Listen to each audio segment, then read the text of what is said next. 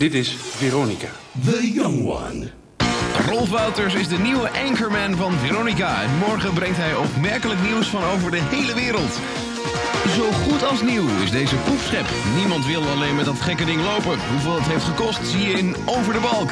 Wie ook flink heeft uitgepakt is René Mioch. Morgenavond ontvangt hij de gehele kast van Siberia. De eerste Gros masterpremière van dit seizoen. Morgenavond om half negen had nieuws met Rolf Wouters. Een uur later Over de Balk. En om tien over half elf de Gros masterpremière. Dat wordt een geweldige avond. En vanavond hebben we nog een film voor je en de spannende serie American Gothic.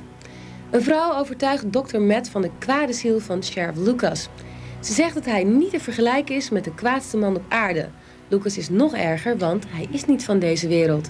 En zij zou het moeten weten, want ze is zijn moeder. We bouwen de spanning lekker op, want we hebben nu de thriller Murder Between Friends. Een vrouw wordt vermoord en haar man en zijn beste vriend zijn de enige aanwezigen. Ze geven elkaar natuurlijk de schuld. Een moeilijke zaak om uit te zoeken wie nou de moordenaar is.